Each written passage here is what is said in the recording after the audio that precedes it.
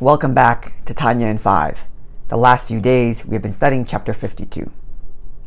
In chapter 51, we began the process of trying to understand what it means that the divine presence, the Shekhinah, rests in a certain location.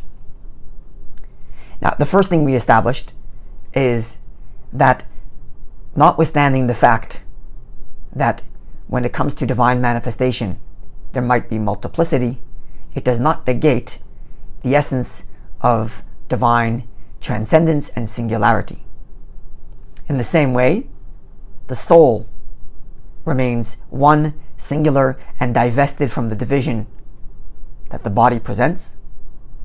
And yet, as it manifests in the body, key word here, as it manifests within the body, that's where changes start to emerge between the life that's in the eye versus the life that's in the nose and the ears and the fingers and so on.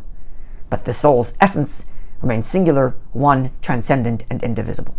Likewise, God, even though in terms of how he manifests within creation, there's a difference between the way God creates the earth versus the heavens, but God's essence remains singular, transcendent, and concealed.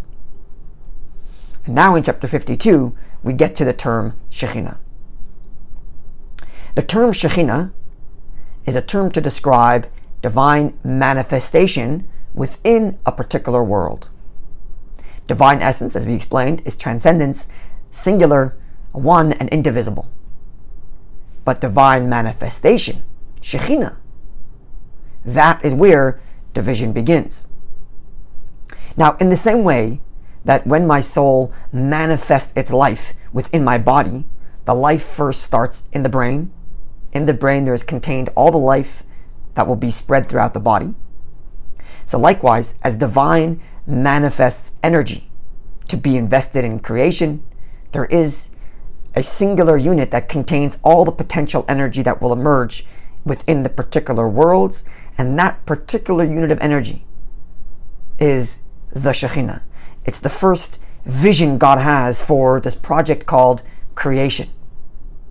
That first vision, that's the Shekhinah, because it is from that vision that will emerge eventually the various particular worlds. Now, that original vision, this original Shekhinah, the first divine manifestation of energy that will eventually create worlds, is in and of itself too large for any one singular particular world to be able to contain. So there has to be some sort of uh, vehicle, or in the words of the Alter Rebbe, garment, a vehicle through which we can interact or worlds can interact and receive energy from that Shekhinah, from that divine manifestation. That vehicle is the Torah and mitzvahs. Torah and mitzvahs is the reason and ultimate objective for this entire project called creation. Now, if this is the reason and ultimate objective for the whole project, then it will be the medium by which we can elicit divine energy to be invested in our worlds, because that was the reason for the divine manifestation. And thus, in every world, the Shekhinah, the divine presence that's manifest for that world, will be contained within the Torah and mitzvahs as expressed in that particular world. And this is the process of how it happens. We begin with the world of the divine. This world in Hebrew is called the world of Atzilut. It's the world of divine intelligence, the world of divine attributes. Now, the final of these attributes is the capacity to project, much like when I speak to you.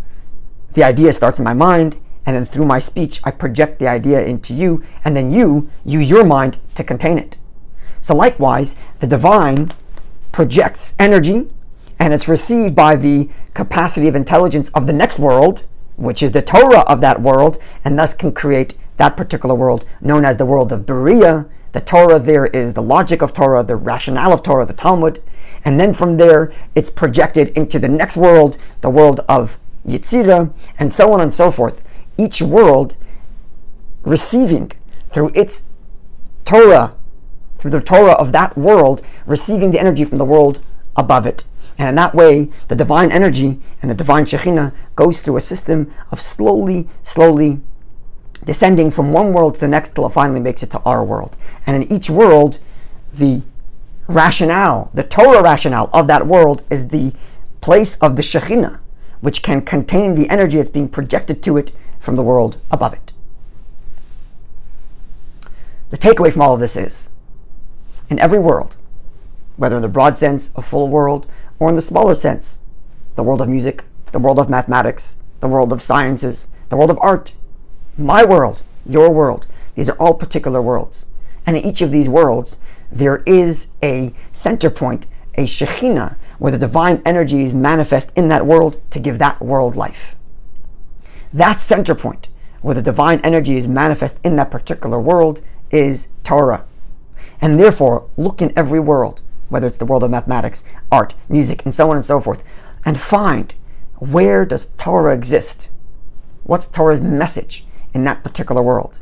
And if you've grabbed that, now you've interacted with the divine in that particular world, as it manifests in that particular world.